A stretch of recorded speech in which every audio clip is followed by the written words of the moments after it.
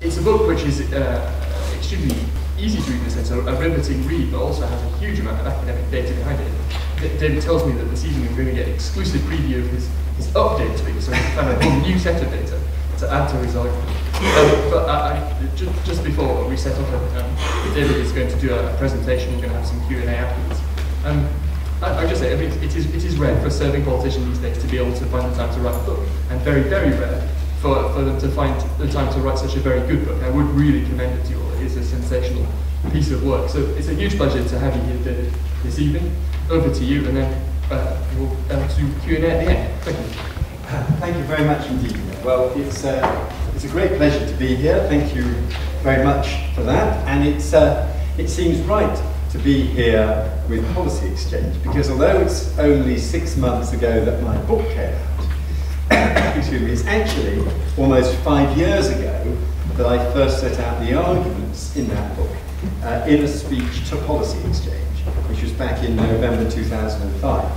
And I argued then, and I'm quoting from that speech, it's not just that baby boomers have shaped the cultural environment, they've also shaped an economic and social environment that works for them very well. A young person could be forgiven for believing that the way in which economic and social policy is now conducted is little less than a conspiracy by the middle-aged against the young. That's what I said five years ago. And as Policy Exchange generously gave me that opportunity then, it's right, I think, to come back now and review how the argument stands, and also, and also to review what its implications are in particular for my own ministerial responsibilities for universities. So anyway, first of all, what we could call the rise of the boomer book, because uh, the book does seem to have struck a chord.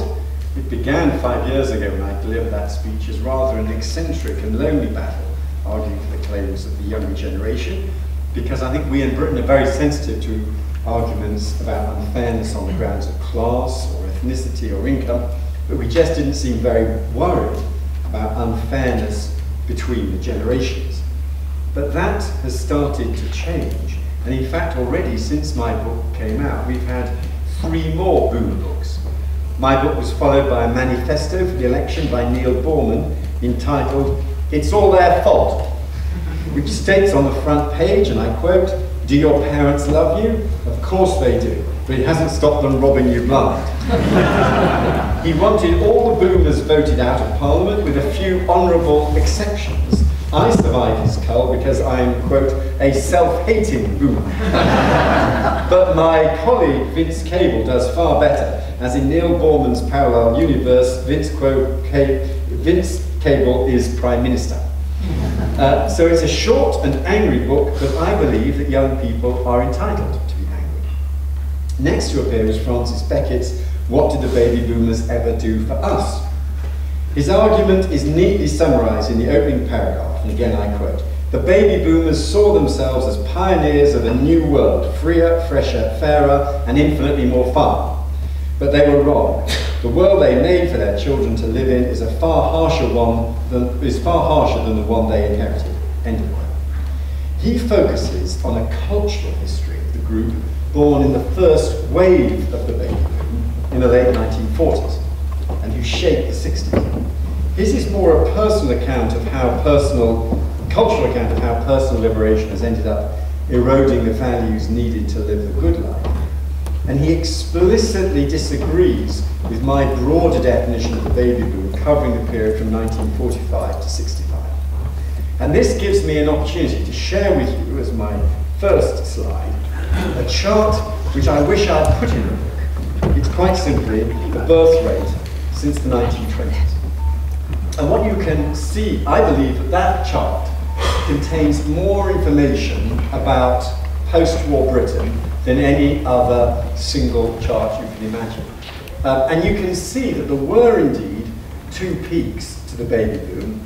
Uh, first of all, in 1947, secondly, in 1964, followed by a dramatic fall in the birth rates, reaching a low point in 1976.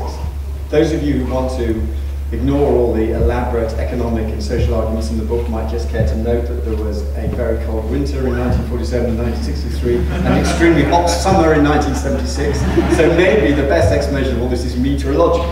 Anyway, uh, so there are, two peaks to the baby. However, even at the low point in the mid 50s, in between, the birth rate never really fell below 800,000 births a year in the UK, and it has hardly ever been above that rate at any other point. So I think, although there's no kind of objective rules here, I think one you can understand why it seems neat to go from 45 to 65 as the, as the baby boom. But there were indeed two surges of young people, and my argument is the first surge of young people were indeed that baby boom in 47, the first peak.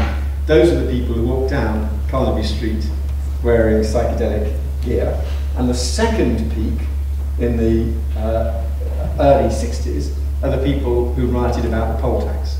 So there were two surges of youthful uh, dynamism going into the economy, and they fed through in different ways. And in turn, those young people surging into the jobs market made Thatcherite economic change possible.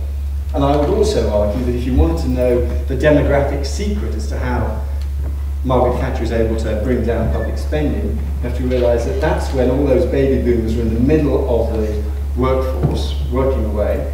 They had an older generation of pensioners that was very small in scale, as noticed, very low birth rate in the 1930s, so virtually no increase in the number of pensioners in the 1980s and early 90s. And behind them a very dramatic fall in the birth rate, so not many children going through education system. So an incredibly favourable environment for holding down public expenditure. Lots of taxpayers, fewer dependents on either side. Um, so that is one of the charts which I wished I'd put into the book, but I didn't. Um, now, I mentioned three books. I should mention a fourth book, which has just come out only last week. We had the launch, and I'm sorry I wasn't able to get to the launch. We had the launch of an excellent book, The Jilted Generation How Britain Has Bankrupted Its Youth by Ed Howker and Shiv Malik. They mount an argument very similar to mine with powerful evidence of the raw deal for young people in the jobs market, in housing, in pensions and savings.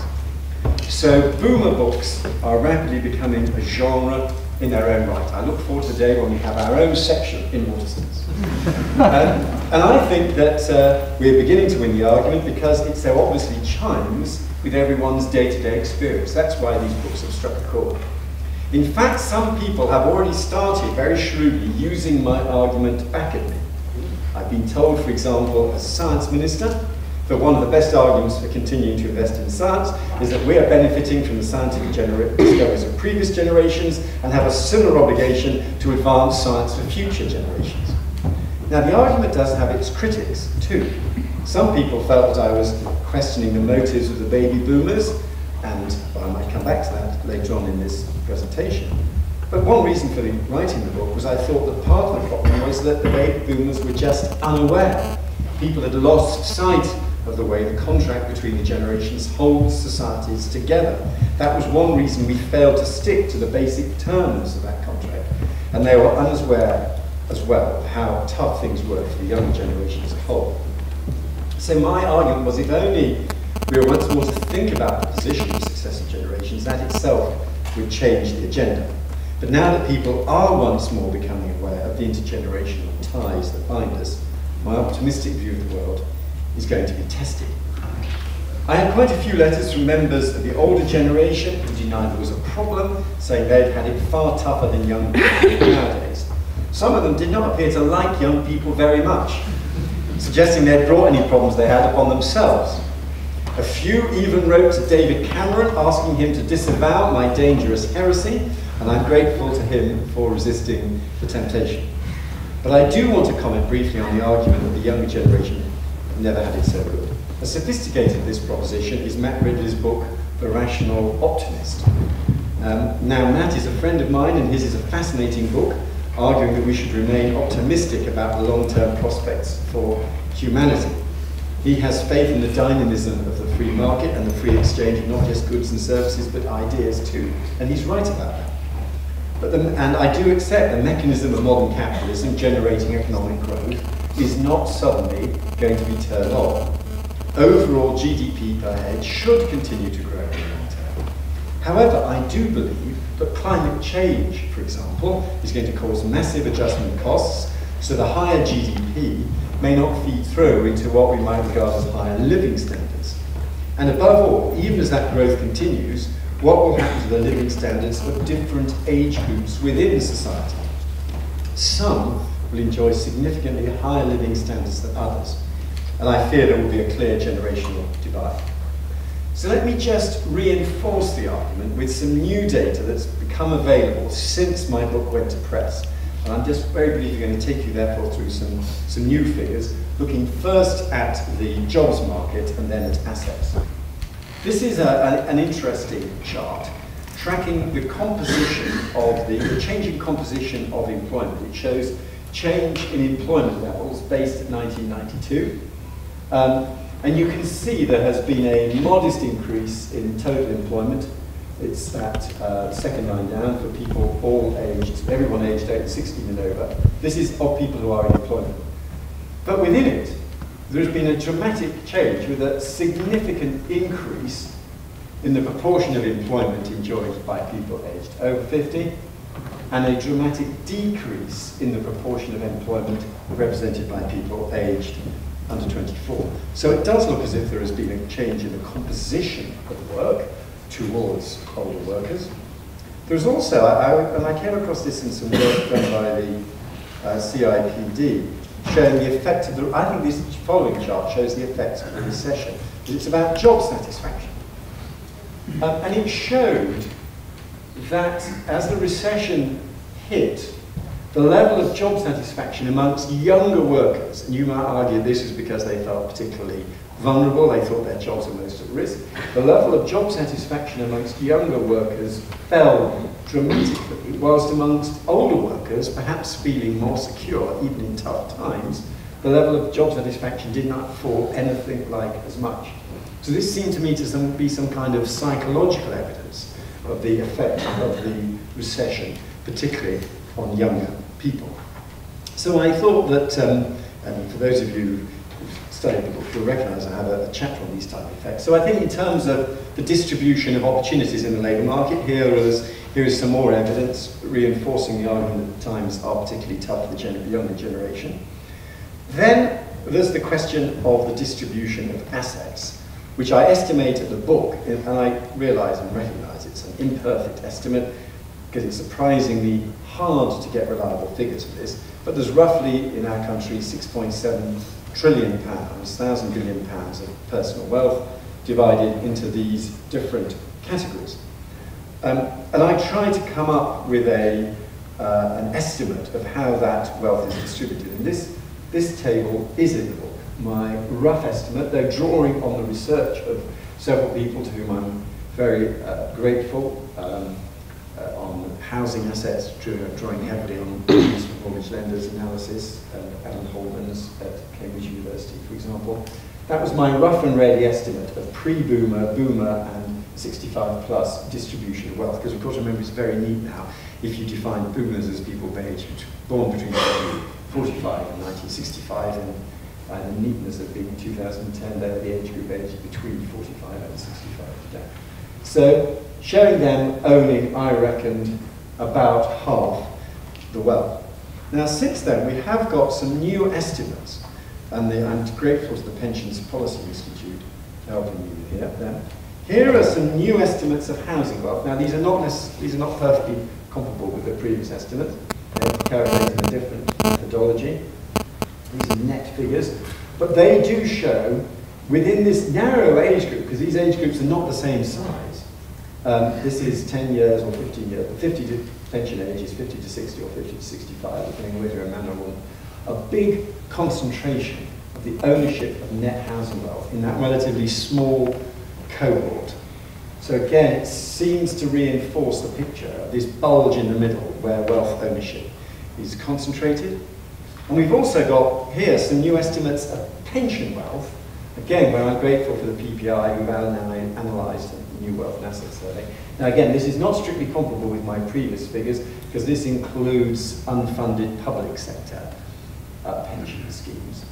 But again, a very dramatic bunching with 58% of all pension wealth enjoyed by people aged between 45 and 64.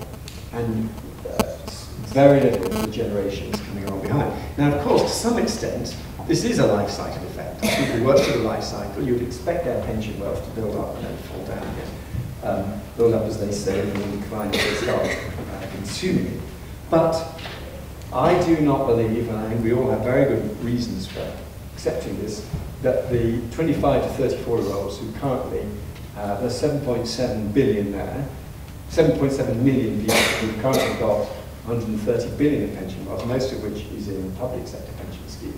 But I, I think they are most unlikely in 20 years' time to be building up the kind of pension assets that the people 20 years older than them currently possess because they're not putting money into funded pension schemes and unfunded public sector pension schemes are also being reformed so they're less generous.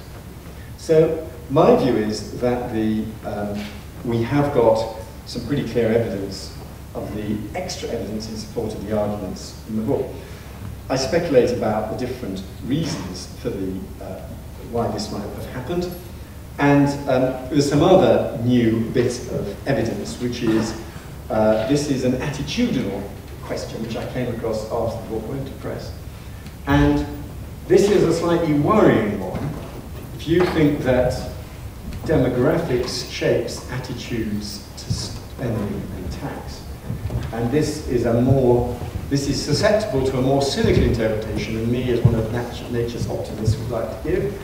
But this, you ask people at different age groups what should happen, what should adjust to pay for the, to the, for the rising cost of state pensions. And basically, young people say the value of the pension should fall. Uh, there's some people who agree that the pension age should be increased, and more like to think that's if you're old. And the older you get, the more likely you are to think that taxes should be increased to pay for the value, the increasing uh, cost of the pension. So this tells us that this is a cohort political attitude measure that I think may tell us something quite important about the future pattern of politics. So I wanted you to bring you up to date with some of the data. But now, let me uh, carry forward the argument by asking this rather tricky question.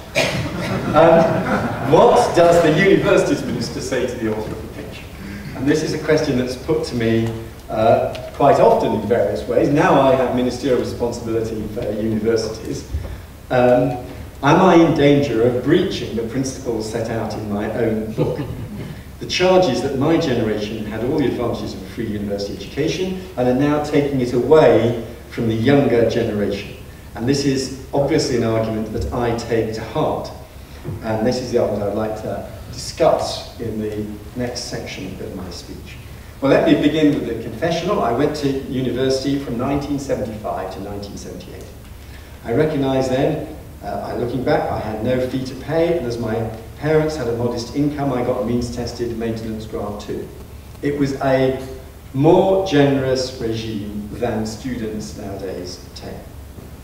But uh, when I left university, we got the figures for 1979-80, then there were just over 320,000 young people at university. Now it's more like a million. And no government could have faced that surge in the number of students and kept a funding arrangement that was so generous per student. So my first reply to this challenge, therefore, is that higher education has expanded more than just about any other public service. And it is understandable that its financing has had to change, with less support per student, even though there has been more for students in total. That's my first response. Secondly, even while we've seen this expansion, the returns from going to university remain good on average. The critics say that the so-called graduate premium has fallen. Indeed, there was an article in The Guardian by Aditya Chakrabortty the other day pointing out that were estimates of a graduate premium of £400,000 years ago and that the estimates now ran at about £100,000. And so the argument goes there's been a catastrophic fall in the graduate premium. But this is to misunderstand the data. What has happened is that the methodology has changed. It's not that the premium has fallen. Uh, and the methodology has uh, improved over time. Um, we've got, we, as we become more sophisticated in trying to measure the extra earnings due to having a degree. The latest estimates, the £100,000 or so, take account of such things as tax, earnings forgone while studying, future earnings growth, the different likelihood of being unemployed according to qualification held. They also discount the present value of future earnings in today's money. The end of all this, uh, the end of all, the end result of all this indicates indeed that over his or her working life, the graduate should earn comfortably over £100,000 more in today's valuation, net of tax, more than a similar individual who achieved university entrance qualifications but did not go into higher education. There have been both internal and external studies that have looked at the graduate premium in recent years, and they haven't all come up with exactly the same figure, but it has been in this range, 100,000 to 120,000, and they have shown that the premium has held up pretty well over the past few years. The claim that the graduate premium has fallen from £400,000 to £100,000 is factually wrong, as it is not comparing like with like. True, there was an early calculation of the lifetime earnings benefit to having a degree about 10 years ago. Within the then DFE, they did produce an estimate of around £400,000, and this did get some media coverage at the time. However, this was not using the methodology that I have outlined. It didn't take account of tax, it did not discount the earnings to put them in today's evaluation, and it compared graduates' earnings with average earnings across the whole population not just uh, with those with two or more A-levels. So that initial estimate of £400,000 has been replaced by the more sophisticated and more useful graduate premium calculation that we use today. So, that's my second response. That contrary to some of the fears, I understand how on a quick reading of the evidence you might think it has fallen, the 400,000, 100,000 calculation is not valid. But then there's the third. the crucial test is surely what the student is getting for their money. I believe we should focus on the fair deal for the student. this was Labour's mistake in 2004. At the time they promised, and I quote Charles Clarke, hundreds of millions of pounds for vice chancellors to spend on improving the quality of teaching and to compete with the best universities. But they did not put in place any mechanism to ensure that happened with the extra money they collected in fees. And although some of the money has gone into better labs, too much has gone on, in just, on pay increases or keeping running an unreformed pension system. In fact, it was a classic example of Labour putting in money without reform. As the money came from fees, it looked like a market reform, but they did not then deliver the structural reforms that were necessary to ensure that the investment was in teaching. This time, I'm determined that supply side reform is going to be a key part of the deal. My third reply, therefore, is that the real challenge for any future reform is whether it improves the incentives for universities to focus on the quality of the student experience. We need to ensure that there are strong incentives for universities to focus on better teaching of students. And the most effective way is supply side reform. And I'm committed to this and pay tribute to Policy Exchange, which shares this long-standing commitment going right back to when I was shadowing education years ago. It remains crucial to education reform at all stages, and Michael Gove and I share a commitment to this agenda. And a lot is happening in higher education. Already we have a thousand places in clearing this year from the new BPP University College. And one particular mechanism I suggested for supply side reform, new institutions, new teaching institutions, teaching an external degree, is already bearing fruit with Kaplan's announcement last month that it will offer 600 places full, for full-time stu students to study in London towards accountancy, business, economics and finance degrees that will be examined and awarded by the University of London. So my reply to the author of The Pinch comes in three parts. First, we have many more students. It would not have been possible to keep the old, generously financed elitist system. Secondly, we've seen the graduate premium maintained. It has not fallen. In fact, what seems to have happened is that the demand for graduates has increased along with the supply. Public policy does not always work like this. And we should be pleasantly surprised when we manage to maintain an equilibrium in this way. And thirdly, there is a challenge to ensure that students uh, get a fair deal, especially with a renewed focus on teaching and the academic experience. This is where supply side reform comes in. Now let me now turn to the life cycle and the age cohort, because there are some uh, important further points here about education. I argue in the book that the welfare state, to understand the work of the welfare state, we have to distinguish between the life cycle and the age group. By and large, the, the state taxes people who are middle-aged when their earnings are high to help them when they're young and when they're old. And in a perfect equilibrium, and I argue that because of their size, the boomers have broken this equilibrium, but in a stable state, equilibrium, you receive from the welfare state when you're young, where capital markets are still imperfect, a toddler can't walk into a bank and borrow all the money necessary for a 20-year education. So the state finances your education when you're young, you put in, you pay your taxes in middle-aged, and you take out again when you're old through pensions and also through the NHS, more than half of healthcare going to pensions. So that is a stable model of what um, the welfare state does.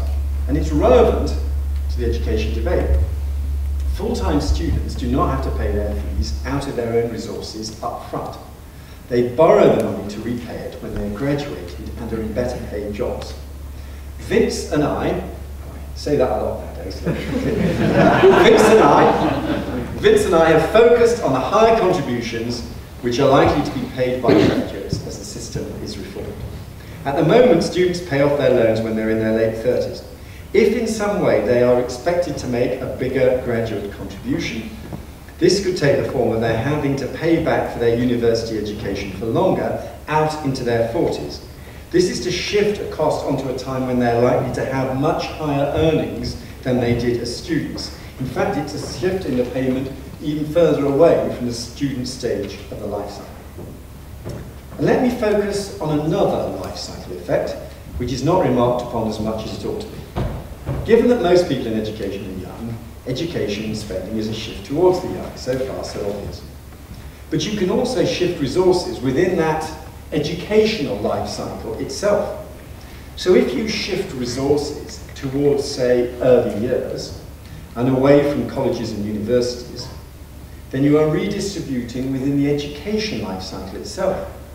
And the latest figures from the OECD show how we balance this out in Britain compared with other advanced figures. Let me quote with the OECD figures from Education at a Glance 2010.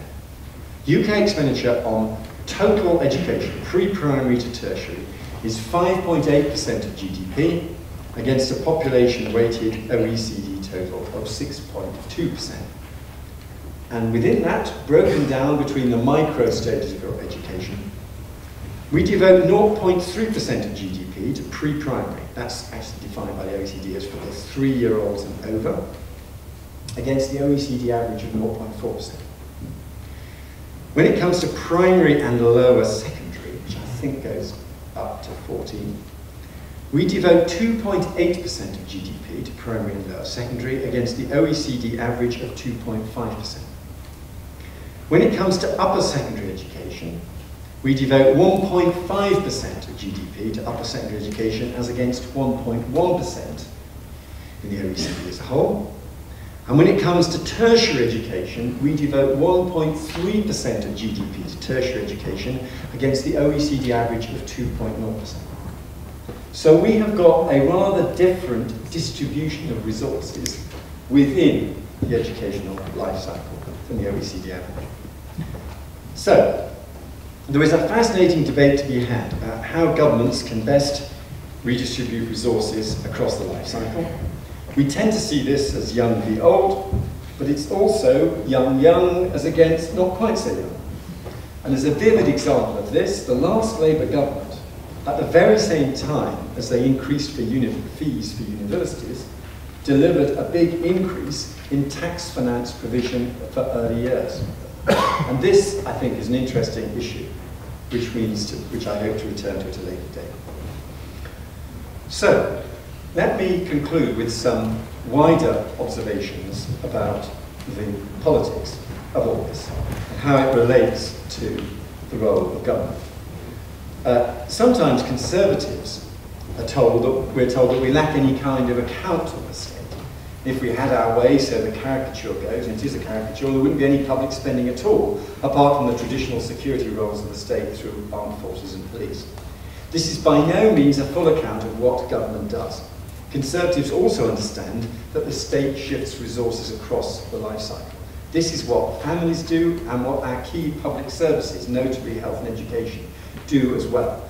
We need to continue to ensure there is a fair balance here. And when we link different stages of the life cycle like this, we're also linking different generations.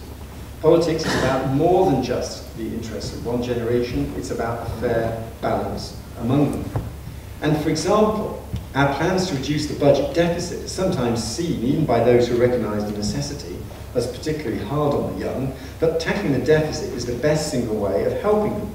It was the point of that great pre-election poster with the picture of the baby, Dad's nose, Mom's eyes, Gordon Brown's death. Economic de consequences of not getting to grips with the deficit would hit the young generation hardest and longest. And what I believe, and this is what my final few slides are about, is the importance of the contract between the generations. Because I believe that the contract between the generations is what makes a big society.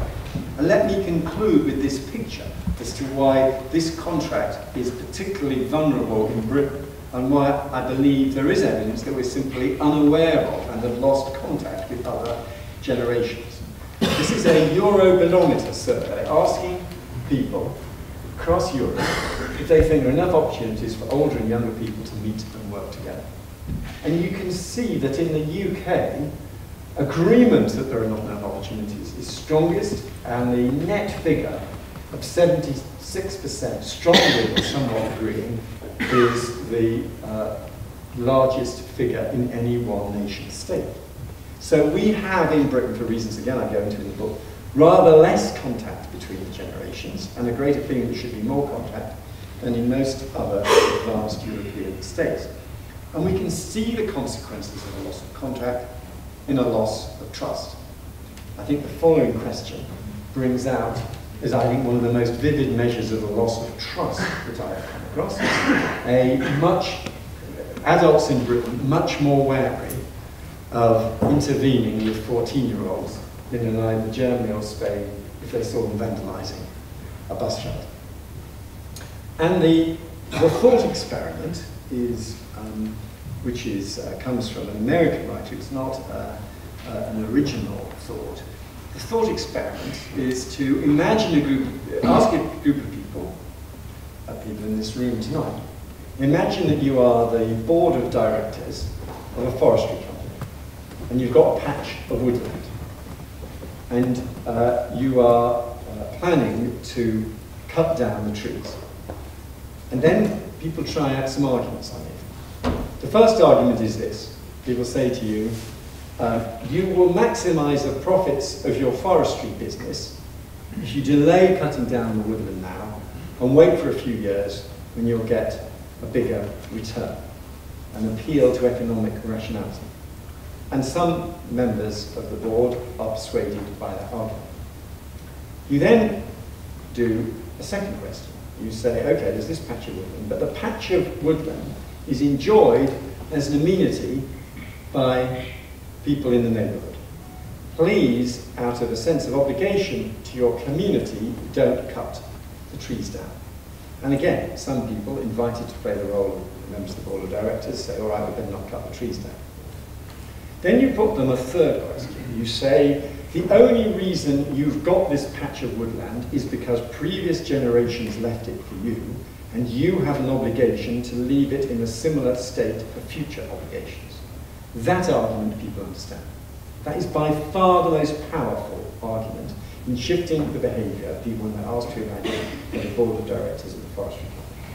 So in other words, the pattern of conventional politics, either the appeal to rational self-interest, argument one, or the appeal to horizontal equity, social obligations, argument two. Neither of them strikes the same emotional chord as that appeal to fairness between generations, argument three. That's what I believe the politics should be about, and it's about valuing the long term, and I think it is a crucial proposition for the coalition in the weeks, months, and years ahead. Thank you very much.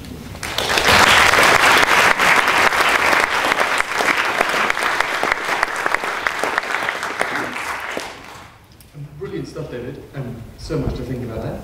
Uh, we've got a little bit of time now for questions and answers, I think. Um, I, I wonder if I could be uh, ask you all if you, when you put up your hand, to say who you are and where you're from as well. Take them around the room. I wonder if I could lead off. So, talk a little bit about arguments around the graduate premium, the number of uh, people who now go to university. Would, would it be such a terrible thing if the graduate premium were falling? Surely that is an indicator of an undersupply of graduates and a, a social opportunity that's not being grasped. Uh, that is a fair point. You could argue, if you were, some economists would say that um, you should increase the number of uh, graduates up until the point at which the graduate premium had been completed down to zero. That would be a one argument. Um, there are other issues about how much uh, we can um, afford by way of participation in higher education and um, the nature of how the higher education experience would change with a further expansion that is an argument that some people could put. Okay, um, there are a couple of questions in the front row, for sir, and then uh, you. Oh, there is, there is a microphone coming down towards you. Okay. Dowler from the Industry Forum and also the Council for Science and Engineering. A little word um, in favour of the baby boomers. Could I ask you if you've actually done what I call an intergenerational cash flow analysis? Because I'd be pretty prepared to bet that if you did that for the next 50 years, you would see a transfer of wealth from the boomer generation to generation X and Y of two to three trillion pounds. Okay, by the simple fact of mortality and inheritance of property. Um, and I think you'll find that that fairly neatly fills the hole of the um, pension deficit um, for Generation X and Y. And I think, therefore, if you analyse the experience of Generation X and Generation Y, and I speak as a father of one of each, um, over that whole period, you will find actually they've had their high um, instance of, of university education, they've had their gap years, they've had their nice spending in bars on expensive cocktails, and they'll end up with as much wealth as we did. So I, I think you'll find actually if you do a whole life cycle analysis, um, they haven't done fairly bad, very badly. And in fact, the contract for the generation stands up between the boomers and X and Y, stands up pretty well. Okay. Well, there is a, kind of entire literature on that, which I kind of, um, I just draw on for the book. Uh, but the reason why it may not, there are lots of responses to that. One response to that is, it is possible that the, well, imagine that um, when the baby boomers were young, a house cost on average £100,000, and that because of house price inflation and policy exchange again eloquent about the housing issue, imagine the average price of a house is now £250,000.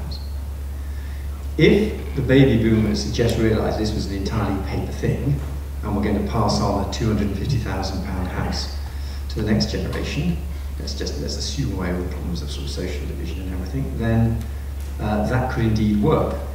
If, however, you think that this increase in the value of your house from £100,000 to £250,000 is some reflection of your econ extraordinary economic skill and personal virtue, I think the obvious thing to do is to convert some of this increase in the value of your house, house into spending money now.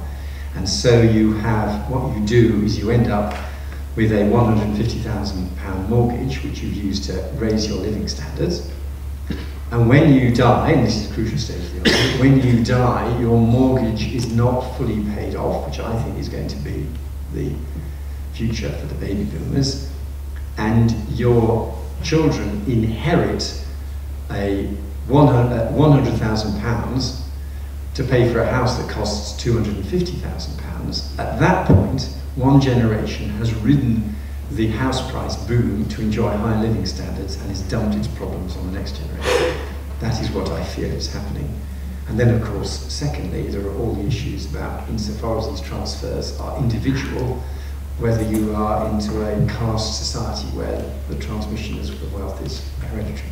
And that is a gross simplification of quite a big economic argument, but I, think there is a, lot of proper economists and econometricians would argue that what I described is what's happening. Another question up front here.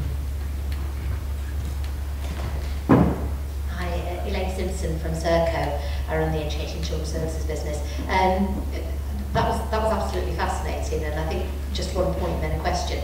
Uh, and the point really was that I was listening to a radio program where someone else, I think, who'd written one of these baby boomer books, actually referred to the the second peak as baby gloomers because mm. we're all carrying our parents and our children. And I have to say, I had an awful lot of sympathy for that because I think uh, I think that's a perhaps slightly different.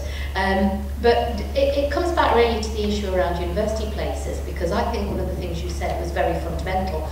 We have all gone through enjoying that ability to access university. If we matriculated, achieved the entrance qualifications, we were able to go.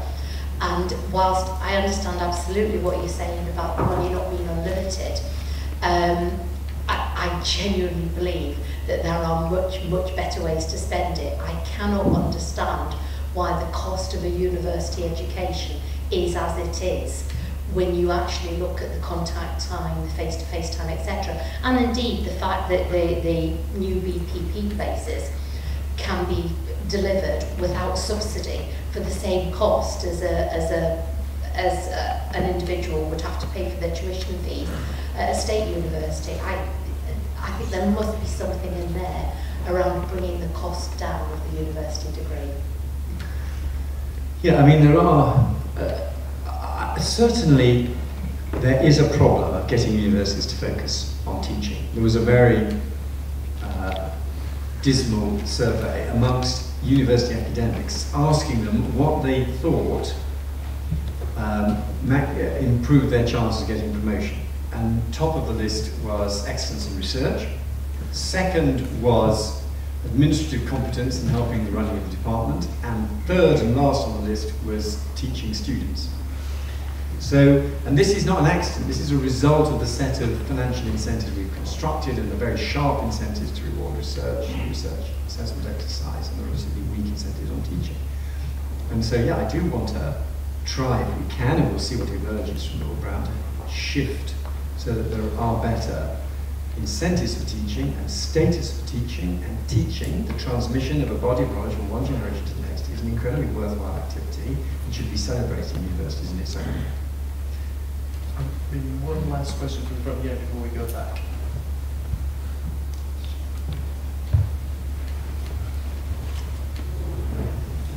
Thank you very much. Richard Jackal, the concerned and enthused member of the electorate Gen Y as well, third I might add on the, on the questions list. So we were sold by Labour the absolute lie that 50% of students going to university would be do wonders for us. Oh yes, more employment, absolutely. More, as you say, increase in demand for graduate posts, etc. There's also more supply.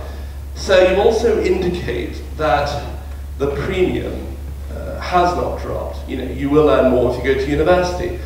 That can be celebrated, but more than that, sir, what should be looked at is an indictment that has occurred. If you do not go to university, where are you left? Absolutely, that is vitally important. So hand-wringing aside, what my generation will want to see and what we shall see as we enter the labour market successfully and build wealth, etc., is not the previous generation wringing their hands and feeling sorry for themselves or us, but rather as we uh, ascend to power, we want to see your generation trying to make amends and say, you know what, university isn't the only way to get a good education in life and a good outcome in life. Yeah. Do you agree? Uh, I do, I do agree that we have ended up with university being seen as the, the only route uh, into a, a well-paid job and a successful career. And the other week at Newcastle, on the day the A-level results came in, listening in on some of the phone calls, there were young people absolutely distraught who thought if they hadn't got to their, to their preferred university or haven't got a place in university at all, kind of, it's like all the doors that matter in life were being slammed shut in their face. And we have got, and I think British society is unusual in this model of it, where the sort of going to university is the, the only way through, and it's why, alongside university, uh, we, one of the things the coalition government is trying to do, against an eye again, is uh, uh, invest in apprenticeships, broad apprenticeships, and uh, also professional routes. There used to be routes into professions like accountancy that didn't depend on going to university, and some of the accountancy firms are once more uh, investing in those routes. Often they involve doing some part-time study. Often these routes involve some HE, and I think many apprentices, some apprentices might go on to HE. But yes, this idea that you have to go away from university, from home to university for three years, aged 18. There are other ways into adulthood, and we should uh, invest in them and value them as well. Right, so some questions a bit further back, uh, lots of them. Uh, but you take Sam Brittan? Mentioned, think, I'm sorry I came late, but I have, sorry I came late, I have read most of your book. I wouldn't, and it's a very good book, but in some ways it's a trap because there's so much incidental information and I have to ask myself what the main thesis is. And I want you to tell me if I've got it right, and if so, I may have further questions. that the, what you call baby boom generation will be a larger proportion of the population than its predecessors. And secondly, they will live longer. And the net effect of that is a, is a proportional transfer of income and wealth uh, greater than in earlier eras uh, from other people to them, coming about either from state entitlements or from their own pensions and other sources of income. Have I got that right? That is part of the argument, yes. So he said warily, because I. That's it. Feels like this. It feels like this. Yeah, but follow up, follow up on them. Yeah. I'm not asking you to prescribe a remedy here and create a crisis in the government, uh, but conceptually, I mean, I suppose I start out from macro economics rather than micro. Supposing uh, we wanted to do something about it, you, you, you can make transfers at any one time, but I don't see how you can transfer income from one generation uh, to people coming in 20 years' time or, or going backwards. Uh, uh, it's a sort of time travel which I don't understand. Now you can make uh, all sorts of assumptions about if you reduce the budget deficit, uh, we'll save more, invest more, become richer, or you can say it'll lead to a slump. But without going into these economic imponderables, how do you transfer uh, from income from one? Well, they all feel guilty like to. How do they transfer income from one generation to the next? Right. Um, well, there is I think there are several things one could, you know, you're right, the book is not as that kind of 10 point plan. I, um, for a variety of reasons, I wanted it to be an argument rather than a list of policy proposals. And anyway, writing uh, as a member of the Shadow Cabinet, my party's policies were so perfect that nothing could be either added to or subtracted from them. Uh, but uh, what you could, I mean, two examples of your proposition is you can leave behind more kit. You can, you can invest in kit that lasts quite a long time. Now, as you argue, learned at your feet, and you can have real investment can be occasionally an appalling waste of resources, but by and large, if you look at Britain, uh, we have, I would argue, we are the beneficiaries of kit left by previous generations. The Victorians didn't say, let's build a sewage system out of plaster of Paris, it'll last 25 years, and then there'll be richer generations along, we can replace it with something better. A lot of, we're the beneficiaries of previous generations, endowing us with kit that was designed to live to last a very long time? Are we similarly providing infrastructure for future generations? And there's the other form of, of infrastructure, human capital, education. What kind of level of education are we endowing the future gen younger generation with? Those, I would argue, the kinds of transfers. There are issues as well about housing, and on that, I think exchange makes a really excellent contribution to the debate. So there are um, making it easier for uh, younger people to get into affordable housing by making it easier for houses to be built would be a third example. So I do think there are things that can be done. Um, and perhaps if my party had not uh, formed the government, I'd have written volume two of the, the 10 point plan. But I think those are the kind of things. Uh, there was uh, another question. There was a lady at the end of the row there, about halfway back from the grey. Uh, thanks, Pam. David, I'd just like to ask you a question about age v social class. Uh, conceding, I've got to say that since your boomer generation is so wide, I obviously fit into it. Um, and it wasn't too much psychedelic clothing and no shoes, I can tell you. Um, but if you look at age social class, um, how far, which would you come down on the side of as, in terms of the determinant, for example, so, to social mobility, which is a goal of the coalition? And the other question I've got is if we're really concerned about the younger generation, people coming on from my generation, how far is there a risk that public funding is going to be substituted for by an expectation of private contribution? For example, higher fees don't do what you say about supply side in terms of universities, but higher fees are anticipated by the Treasury in order to substitute for the public funding that we have had today? Well, Pam, we have lots of conversations about higher education.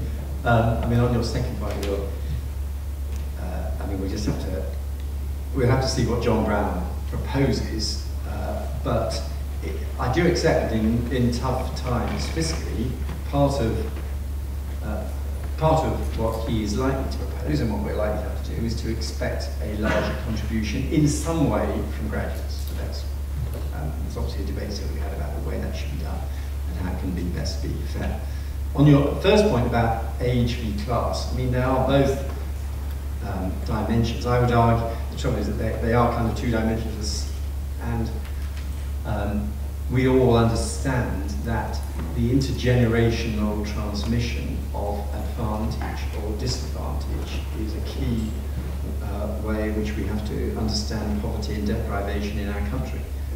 Uh, so I would argue that it's the uh, the real the, the real driver is that we are trying to if we try to help the next generation one by one, which is an admirable instinct, nothing wrong with it, is what parents wish to do for their kids. But if we try to help the next generation one by one, and don't, as a society as a whole, offer a fair deal for the younger generation as a whole, then the consequence is very low levels of social mobility and high levels of inequality. So that you, the way in which you can break that transmission mechanism is trying to offer a fairer deal for the younger generation as a whole, alongside understandable efforts by parents to do the best for their own kids. Very good. And uh, there's a lady halfway back over this. Helen Rongbam, consultant at um, Prospect Wealth Management. I, mean, I think you touched on the first thing that I was going to ask is the distribution within the richer age band and just how that pans out. And is the implication of what you've been saying is that currently richer pensioners probably have to do more for themselves than thinking I'm over 60, 65, I can claim X, Y, Z. And is it also an argument that you really actually should we think about transferring assets to the next generation or death and making it easier for those people who have the wealth to pass it on? Or does that really come unstuck because of the distribution of wealth within, the, within that age band? Um, it does, it does indeed uh, remind us that there will be some pensioners who are um, quite affluent, and I think one of the reasons for sort of raising the pension age and all that is to try to they and they tend to be the younger ones, is to try to um, address that. I also think that I didn't make much of it. And the, uh, Sorry, Dave, I was, I said pensioners, but possibly I should have meant baby boomers, Right. like, you know, 45 to 65. And they are, in terms of what they should, they should do. I mean, I think oddly enough, I didn't make much of it in the book. Um, there is probably two sort of clever, clever. There is actually an argument here for the George Osborne inheritance tax proposal, which is that if you think that the key decision for an older person or person building up, who's built up those assets that I described, is a trade-off between consuming them now, going back to that region example of, okay, I've got this house and it's worth 250,000 and I'm going to run a nice big fat mortgage, between consuming the money yourself or not consuming it so that the next generation inherit it unencumbered, then lowering the rate of inheritance tax shifts the incentives from consumption to non-consumption. So you could argue that that is, now it doesn't tackle the of the fact that you're solving this, Is, this is a one-by-one solution of the interest of the next generation rather than a society-wide solution. But you could argue that it does change that decision in favour of non-consumption. Uh, and the, uh, the less that the wealth of the old people is encumbered, the less the burden for the younger generation who inherit. There's a gentleman here in uh, middle in red jumper. Uh, Michael Johnson. Um, uh, hello, it's Michael Johnson. Um, I shall now think of you as a sort of demographic Robin Hood. and I'll be extremely wary if you get anywhere near the Treasury. Um, two questions. Whilst you were writing the book, did you ever find your brain drifting towards the question of the potential parallel between public sector pensions and everyone else? And secondly, um, the point about that you were just making about related to inheritance tax. Um, one proposal that, I've made through another think tank, I won't name it in this in this situation, is the idea that we should trans, uh, permit the transfer of pension assets um, free of inheritance tax and seven-year rules and all the rest of it, provided that that asset transfer goes within the pension framework of the recipient, so that one creates a generational cascade of wealth, free of the clutches of whoever happens to be in number 11. Um, I, I think public sector pensions is indeed one aspect of this issue. Uh, it certainly is, and uh, uh, it was one of the, it's one, and not the only one, the drivers of the uh, long-term deterioration of public finances that the Treasury uh, captured some of their long-term fiscal trends documents, though um, gradually piecing it together, often rather hiding the scale of the problem. On your second thought, that is an interesting debate to be had, because, and there are a variety of ideas around of a kind of family fund which would indeed protect intergenerational transfers within a family group. And, in, and you could, uh, and uh, if you, and there's quite a tricky quest, policy question there, if you think that what really matters, it's always better to pass something on to the next generation. You, do, you are just doing it one by one within the family, then you, that's a very attractive model, and indeed it is much more how continental systems operate. French laws of inheritance have recently been reformed a bit, that I discussed them briefly in chapter one, are a classic example of protecting regarding assets as not the absolute property of one generation, but essentially held in trust for the family as a project across many generations. But part of the reason for my opening chapter, which is about our family structure, was to argue that England, in particular, has been less, has historically been less dependent on this type of personal transfer, of parents to, to children. We were actually often rather cool towards our own kids, and that uh, what you really had as the kind of birthright of an English man or woman was participation in a free and open system. Uh, and that the Uh, in England, we always had really very absolute rights of property, and it was not just through primogeniture, large numbers of kids really did not extract much from it, and this was a rather an important feature of our economy. So I will freely admit, I don't, don't discuss in the book, I think it might have been one of the chapters if I'd ever done a volume two, who knows, it may have in the future, but there is quite a tricky trade-off. It clearly does change, incent improves incentives for saving, but only within the family, so you could argue that it is bad, it is good for intergenerational transfers, bad for social mobility. Um, this question, gentleman with the pink shirt, second row. Thank you. Uh, Tim Leunig from the London School of Economics, born 1971. Uh, I welcome BPP's entry into the university sector. I'm all in favour of competition and fair fees. But fair fees don't have to be low fees, as any Mercedes-Benz dealer will tell you. Given that my international students are happy to be paid, are happy to pay £10,000 a year to be taught by me and my colleagues, wouldn't it be fair to allow me to charge my British students that sort of sum so that I could have a well-warranted pay rise? Rarely has the argument for higher fees been put so persuasively and seductively as the higher pay rise. Um, yeah. And Tim, certainly you, uh, there is sometimes these discussions, you have a slight flavour of Alcoholics Anonymous, where people have to begin by confessing the generation to which they belong. Um, well, the question is whether, for the younger generation, your proposition would be seen as a fair proposition. And uh, there are a set of issues about how you would, how they would have to expect to pay, whether they, they clearly can't pay up front, how the payments are to be made down the track, how you ensure that people from poorer backgrounds are not deterred, how you are to be confident that this uh, income for universities is um, uh, is spent on is spent in a competitive environment, so it does actually reward and increase teaching incentives. So uh, there are, it's not quite as straightforward as you make it sound in your seductive way, but we are looking forward to John Browne's report on the subject.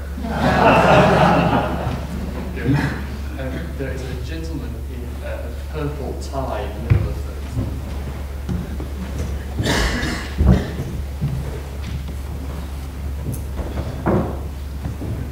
Good evening, Ian McKenna, Finance and Technology Research Centre. Um, do you believe that um, if the baby, baby boomer generation has written a somewhat generous set of legislation towards itself, when Generation Y comes to power, they will feel obliged to honour that legislation, or indeed may they rewrite the rules more to their own interests.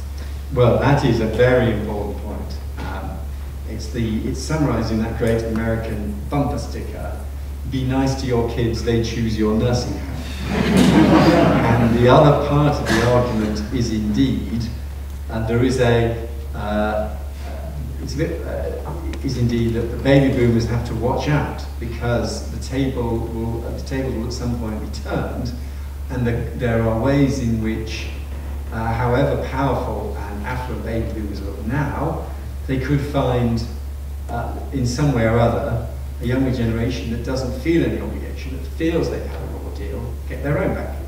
And you can speculate about the mechanisms. One mechanism, of course, is inflation, uh, which uh, uh, might uh, erode the value of the paper savings, but not obviously the real assets of, of the reader. So yeah, there is a risk. And uh, whether, whether a future working population, people who feel they had a raw deal, is willing to sustain the levels of tax and spending that are implied by the previous government's own long-term fiscal trends is, a, is the key question.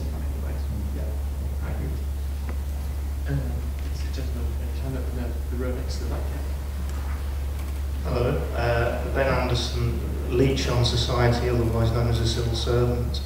uh, speaking in a personal capacity, um, my father was the youngest of five children and made the least money out of those five over his lifetime. But in their extended family, um, there's been rather a lot of uh, nastiness regarding money and inheritance and everything else. So this nice idea of, sort of wealth cascading down the, the generations. What happens when there's somebody who's coming to the end of their life and they don't like the decisions that their, their child made in terms of who they married or one of them was a drug addict for a few years and then decided they decide they don't deserve this money and, and so on. I mean, isn't there real problems there when you start mix the idea of equity through generations being very one-to-one, like you talked about earlier on, and the gentleman now in the beginning the very first question, when I thought, well, one problem is not everybody has rich parents. Well, uh, there is, as always, there is there's some American research which done. I'm trying to remember that piece of research. I don't think I cited it. There's a piece of research which, if I recall, tries to measure the time devoted to their parents by children, depending on how many children there are. And the argument was that you might expect that when there are more children, the amount of time they would devote the parents would fall because there were more to divide the work up. But the argument is that actually there is no significant reduction in the amount of time per child because there is competition between the children as to who is best placed to enjoy the inheritance. And it was a, I can't remember where I read it, but there is a, there is that, I don't know there, there was a piece of American social science research that tried to test your proposition and didn't come up with it. It looked to me as a lame um, evidence of that kind of, uh, kind of competition you describe. And this question is right towards the back, gentleman with blue. Thank you. Hi, uh, I'm uh, Mark Hall, a social policy student. Um, I'd just like to ask about one of the biggest challenges facing society uh, in the next few years, which is going to be about uh, how we fund elderly care. Uh, do you think that there is an argument to say that the baby boomers uh, are yet to contribute enough of their life cycle uh, in order to uh, benefit from um, the uh, NHS uh, in their elderly retirement and uh, should it be that that generation uh, should fund uh, their, their elderly care in later life? Um, well, the if if it is possible for older generation, if it can be achieved and them to fund it, that would be that would lower the costs on subsequent generations. Um, but as you know, we in the coalition government have got a, a review of how that should be done. Um, but insofar as it can be done by older people uh, funding themselves, and that you need the right kind of incentives and rewards, then that would ease. The question? Yeah.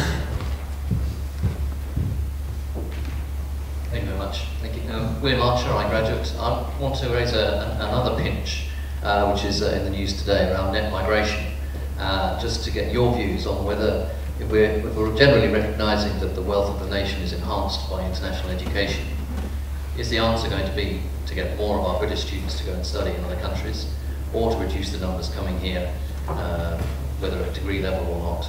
Or are we perhaps being a little simplistic in terms of setting a net migration target in the first place?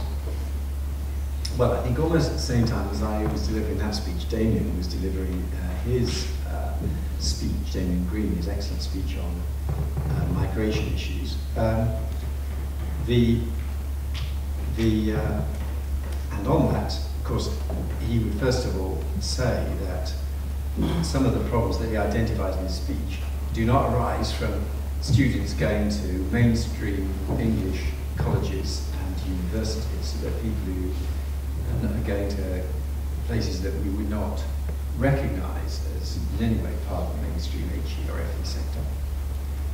Uh, but secondly, I do think that, as you rightly point out, it is a net figure. And the, when I was in India with the Prime Minister on his tour in the end of July, one of the statistics that struck me was that there are, I think, 40,500 Indian students coming to study in Britain, and there are 500 British students going to study in India. And there it was, when you look at British students are sadly very reluctant to go and study abroad, they don't like speaking a foreign language, they don't want to go to places that are sunny. And on most of the demanding tests, which seem to be set by British students, you know, going study in India actually scores quite highly. Mean, we do know from employers they rather like, they think your employability is improved if you have got some experience of studying in another country. Uh, and so I would be, and I discussed with the Indian Education Minister, ways in which we could make this more a two-way flow. uh, and encourage more young people to go and study in India. That in turn means some quite hard work. My officials are talking to his officials about things like ensuring that there is mutual recognition so that the year of study that you do at an Indian university counts towards your degree at a, at a British university. But if you can make that work, uh, recognising higher education is going global and get a proper two-way flow, then I think uh, we gain all round. There's just a blue shirt back there. Evening, Mr. My name is Dan Kaplan. I hold a public affairs company, Business Public Affairs, but I, I should also declare I was a parliamentary candidate for the Conservative Party at the last election. Um, I want to ask you two questions, really, quite shortly. Um, one, do you believe in a small estate? And two, do you believe in a gradual tax? Do I believe in a uh, small estate? I do think that uh, we should uh, bring down the overall burden of uh, tax spending, but I think it is very hard to do when you see the demographic trends that we face on a kind of 40-year view. Uh, the, the environment, instead of having a tailwind as we had in the 1980s, we've now got a headwind. And I wanted a Troman book to explain what that is. On the graduate tax, well, um, we, there are a range of ways in which we could uh, finance in the future. John Browne is looking at them.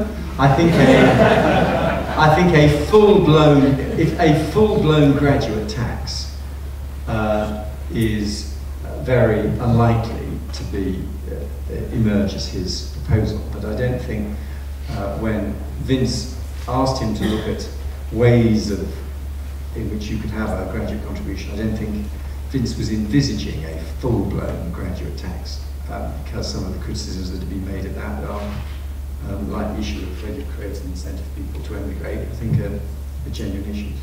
Uh, just to pick up on the graduate tax point, the only thing that's fairer for a graduate to know that they can pay off their debt and move on with their life and have a tax hanging over them the rest, the rest of their life. Uh, well, there are a, a, range of arguments. What we, what uh, we want is to make it clear that this is a contribution that people pay back when they are graduates.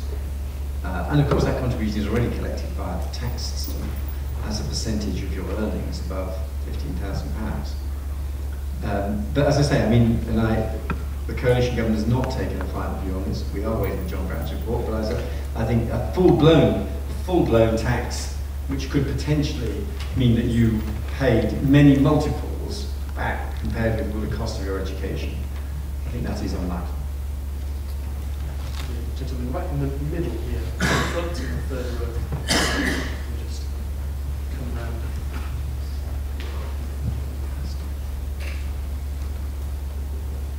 Charles Alexander, business executive. Um, in your speech, uh, David, you put up a great chart saying that the um, solution to the pinch would involve the big society, was, would be an expression of the big society. Apart from the fact that you feel obliged to say this, um, you didn't seem to elaborate on that connection in your, in your spoken words. What did you mean? What I meant in that final part of my speech was that I do think that a very, a very sort of, uh, a very valuable way of thinking of the social contract is to think of it as the contract between generations. And Tories, and the book is deliberately not written as a kind of partisan text, but Tories are sometimes rather wary of the language of the social contract. But I think if you, if you think of it as a contract between the generations, um, then conservatives uh, may be rather more comfortable with it. And uh, my view is that what kind of holds a society together is that contract between the generations. And I might even give you a quick burst of Edmund Burke. I'm sure you're all familiar with, uh, with this. Let me find, see if I can find the best quote. There's a lovely extract um, uh, uh, yeah, can I give a quick burst of Edmund Burke, just to raise the tone? Society, society is indeed a contract. Subordinate contracts for objects of mere occasional interest may be dissolved at pleasure. But the state, is interesting, but the state ought not to be considered as nothing better than a partnership agreement in a trade of pepper and coffee, calico or tobacco, or some other such low concern to be taken up for a little temporary interest, and to be dissolved by the fancy of the parties. It is to be looked on with other reverence, because it is not a partnership in things subservient only to the gross animal existence of a temporary and perishable nature. It is a partnership in all science, a partnership in all art, a partnership in every virtue and in all perfection.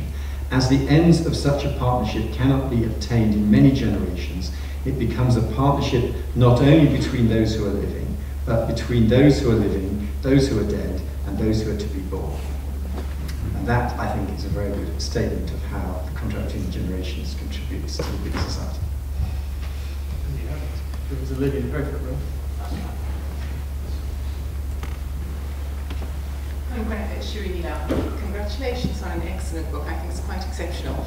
Um, what strikes me is you, your final couple of pages, you talk about the appeal of the narrative and picking up on the um, big society. What strikes me is that there has been no talk about the, the intergenerational issues because the younger generation are facing a fiscal burden.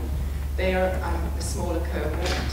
There are demographic um, they are, they, they are demographically disadvantaged, but also, just going back to that graph you showed, they don't have, these early years in their 20s, they are unlikely to have the same level of job securities that, the baby boomers have enjoyed as well. Yeah, and I agree with you. I do think myself is a very powerful narrative. And um, in their book, Jilted Generation, um, I think you'll see that I think that is developed very well. Uh, it's kind of, what, what kind of people are we? Are we just, and that's why the point of my example, people imagine they're all directors of the forestry. Imagine if it, it's getting people to attach a meaning to their lives that is more than simply consuming today, and appeal to the interests of future generations, in the sense that you are both beneficiaries of an inheritance and have an obligation to pass something on, I think is a very powerful argument in a especially in a more secular society. So yes, I do think it's a strong argument, and I think it has, and part of the subtext, and I'm not explicit about the book, but if you're in a modern diverse society where appeals, traditional Tory appeals to, well, this is what we all believe, or this is what our culture tells us, are harder to make. Naturalizing these kind of arguments by arguments about obligations between generations, I think, is a is a very good way of, maybe, of putting a narrative that is comprehensible and natural and does not depend on some shared set of religious beliefs or whatever. Yeah, I do think, and I, that's why I think that's one of the other reasons why I think this type of argument is striking a chord. It's not just it's a real problem; it's also the type of political argument that people respond to. Just maybe yellow tie.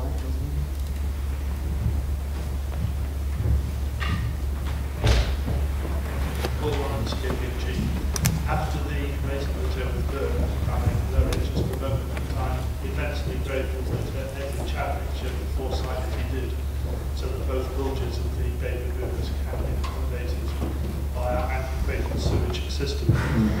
um, having been born in 1950, I'm reminded by recent birthday cards in that year it took 28 hours for Gregory Peck to fly in from New York. It took 12 hours to go from London to Glasgow, and the working week was nearer to 50 hours than 40. Since then, there has been a big time squeeze on everything that we do. I went to uni in 68, took a good degree, felt I had loads of time in which to do that degree.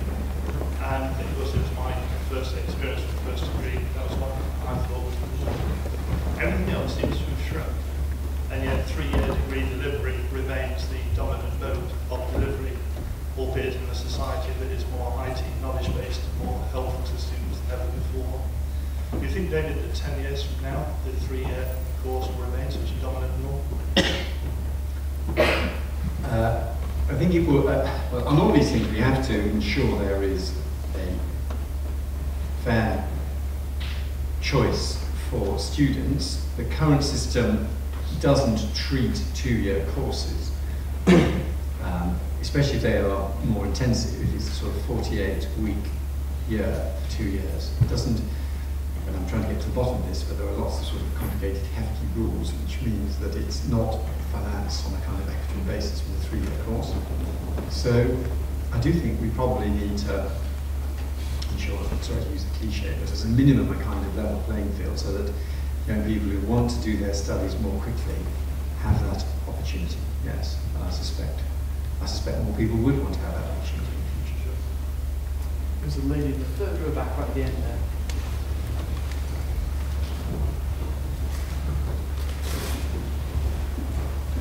Uh,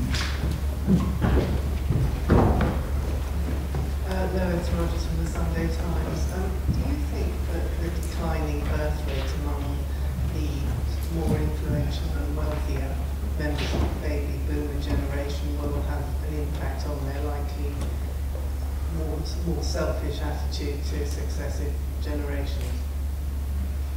Um, this, this is very um, sensitive and delicate about what is happening to the birth rate. Um, I don't think that what you say is quite what the evidence suggests. Uh, my understanding of the evidence is, first of all, I mean, is in some ways an example of the difference between genders. To put it crudely, I think the more a man earns, the more children he has, and the more a woman earns, the fewer children she. In other words, for a man, your income enables you to finance having more kids. For a woman, your earnings mean that the opportunity cost of having children increases as, earning, as income foregone. So if you've got those two different economic forces operating, which just shows some of the gender divisions still in our country, uh, it's a bit more uh, complicated than just kind of more effort having kids.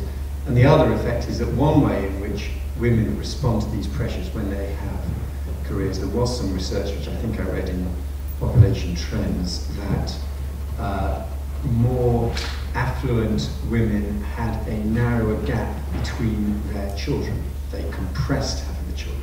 Or do they also have fewer children? Uh, Or are they more likely well, there, there is there is also this phenomenon. There is an increase in, in childlessness, and there is some suggestion it may be unintended in that you ask people whether they expect to have children, and then fewer end up having children than expect to have. So there are so there are sort of quite complicated sort of cross-cutting uh, trends here. Um, but the, then there are, there are some, there has been some increase in childlessness, but I think rather than identifying that as because of people being very affluent, I think it's much more to be seen as because advancing into adulthood has become slower and uh, messier. It's, you know, the time to, it takes to kind of create the nest before you then have kids. Creating the nest in terms of owning a place of your own, or at least having reasonable accommodation of your own, and having um, a reasonably well-paid job or a partner with a reasonably well-paid job, if that all takes longer, you are up against the biological clock. So I think that's more the problem than in terms of a simply a difference in age in birth rates by affluence. But I do think that these, but I wrestle with the book with the dilemma and I came up with a, perhaps an overview but the dilemma I have is, of course, we've currently got an increase in the birth rate going on, even when there are these pressures. And my argument was that paradoxically, the, one of the effects of the house price boom was that people were piling into houses, even with very large mortgages, just to get started on the housing ladder. But I don't claim fully to have got my head around the links between house prices and the, and the birth rate, which has not behaved in the past few years the way I initially expected. Yeah, um, we are quite, quite close to running out of time, so I think we might take a couple of last questions. A, a bunch at once if you don't mind. Um, there's a gentleman with his, I think, a glasses case he's waving in here.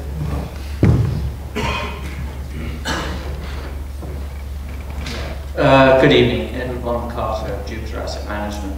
Uh, David, are there lessons from other countries, perhaps developed countries, that have experienced some of these same cycles? You put some uh, other European examples up there. Perhaps I'm thinking of Japan, which is more demographically challenged an earlier stage. In fact, the population is going down, just the birth rate, but is actually declining. And they had an asset boom, which you know was peaked arguably in the stock market in the late 80s, and also real estate boom that peaked earlier. What are the lessons from other countries and how they deal with some of the issues? And there's a question, I think, in the fourth row on this side. Is Hi, Kieran Larkin from the Centre of Cities. Um, if you if your premise is that basically there's been kind of a luck in a certain set of circumstances for the baby boomers, which goes beyond kind of just general demographic changing uh, nature of, the, of society that we all face, what do you think the theoretical arguments are for perhaps uh, a windfall or age-targeted tax if you could, would be able to target this, uh, this group and the kind of uh, the additional benefits they've had, notwithstanding the political suicide uh, that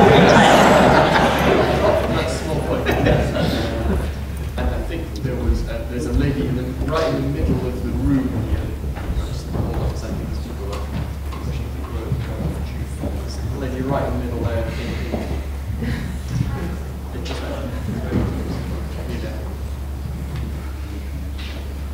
It's a very simple question. Uh, Rebecca Taylor, International Longevity Centre. Um, I was surprised to hear that the amount you have to earn to pay back your student loans is 15,000 because I'll show my age now. I graduated in 97 and I think it was the same then. And I, I wonder why it hasn't been reviewed. And then there was the gentleman in the second row towards the front, and then I think we probably have to. Uh, thank you, David. Tom Schuller, Longview. I want to go back to the contract, David, and the basis of it. But if you take your subtitle there, it's quite an aggressive sort of um, and material type uh, approach to this. I, some generations have certain amount and they've taken more than they should have done, and you're encouraging other generations to get it back. Would you say that Burke would have agreed that that was that was that his understanding of a contract, and aren't there actually more moral underpinnings to a contract? And by phrasing it in the asset and the very powerful way your analysis is, you slightly subvert the nature of an intergenerational contract. Right. Um, the uh, right. Several final questions, and first of all, thank you all very much indeed for coming along, and thank you for policy exchange for this. Uh, on the that final set of questions, I think the amount is indexed, but by RPI, not, not by earnings, so it does increase, but obviously I hope that's correct. I shouldn't have, I think that's the explanation. Um, a windfall tax, well, when invited to commit political suicide, uh, I, even I re realised that I should not advance into this territory, and, and in fact, I don't think that the solution to these problems is higher tax. I don't think Britain's problem is that we're not paying enough tax, and the aim is to try to be smarter about ways in which we can deliver better fairness between the generations. On Japan, Edward's question about Japan, yeah, Japan is fascinating. Uh, and I do, and you can argue that there is this underlying parallel. If you look at the kind of growth surge that economies go through, they go through this growth surge when they're in the sweet spot, but they have a great, when they're, it's like a pig being swallowed by a python. When there's a great big generation in the middle, in the workforce, with not many older people uh, ahead of them with uh, expensive pensions to pay, and not many kids coming on behind. When you've got an age distribution is concentrated in the middle, you get a growth surge. And that is what uh, is interesting. The, fascist nations had a, a pro-natalist policy, so they had a big increase in the birth rate in the 30s and 40s. So the German and Japanese economic miracles post-war were partly driven by being in this very favourable demographics. Then you had uh, uh, Britain and America, uh, more recently, you've had China going through this. So I mean, danger, danger of becoming kind of demographic determinants, but you can see it in that light. And then you come out the other side when this very large generation gets older, and you do have a very serious problem. Uh, and, and Japan, two very interesting things they, they did. I think one of the underestimated measures they took to get out of asset price deflation in Japan was they had a problem that when you had when you had deflation, when the price index was falling, pensioners whose incomes were denominated in cash terms were in, enjoying real increases in their living standards. And they finally changed the law in Japan uh, that when that meant that indexation of pensions could also be negative. So that when prices fell, the cash value of the pension fell as well. And that changed the dynamics. And it was only after they changed the law in that way that you ceased to have a very large group of voters with a significant interest in price deflation. At that point, um, economic policy started delivering that uh, modest Japanese recovery of a few years ago. So you can have perverse effects if you've got negative prices and significant groups who are beneficiaries from price rises being. The other thing that's interesting in Japan, of course, is that they are very wary of allowing migration to have a very strong ethnic understanding of what it is to be Japanese. I think they've identified an obscure group in Mongolia that they're willing to count as ethnically Japanese, but they're pretty uh, uh, fussy about all this. So they haven't got the normal Western to adjust, and they are quite explicit when you go there. that one of the things they're trying to do to a, a response to demographic aging is a massive investment in robotics. Robotics is their, one of their big industries for the future, and the reason why Sony and others are so good at robotics is they are trying to make things that will deliver services that they're not producing the young people to deliver for them. So they are looking to the day when the waiters and the waitresses in restaurants are robots. Well, there is a, there is part of the Japanese demographic response and industrial strategy is this extraordinary faith in and, extraordinary effort in, in designing robots. And Tom's, Tom's final point, yes, it is ultimately a moral thing, and it is not just a matter of, of assets uh, and the kind of, but it kind of goes back to further questions. So where do you think your morality comes from? Another chapter in the book is an attempt to offer a slightly more naturalistic or kind of Humean account of morality as emerging from um, exchanges, I'm drawing on the entire literature about kind of evolution of cooperation, and arguing again the most important forms of cooperation are intergenerational. And if you imagine that instead of being born into the world dependent and requiring large amounts of education and training to become independent, and leaving the world dependent, if you imagine that we emerged into the world as adults and then carried on as adults until suddenly we died without a period of dependence at the end, then most of the institutions that make us human and that hold society together, I think, would not exist. And if you in my view, is that it's those exchanges between the generations that make the family necessary, that make a large amount of society necessary. And so it is the intergenerational obligation uh, which I argue in the book is ultimately indeed not just an economic transaction, but is at the heart of most of the moral obligations we have to others as well. What a very good note to end on. Um, thank all of you for your brilliant questions. I think covered pretty much everything in the book. David, thank you for sparing your time. It's powerful, powerful stuff. Fascinating to listen to as ever. And I think we'd all like to show our appreciation.